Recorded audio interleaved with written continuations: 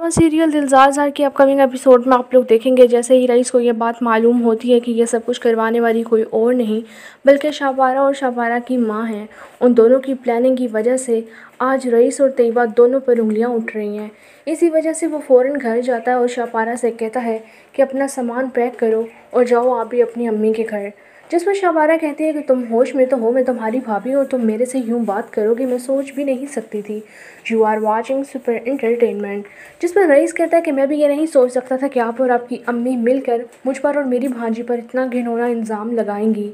शबाना ये बात सुनते ही आए बाय शाइन करने लगती है और कहती है कि रईस, तुम्हें बहुत बड़ी गलत फहमी हुई है, ना मैंने ऐसा कुछ किया और ना ही मेरी माँ ने।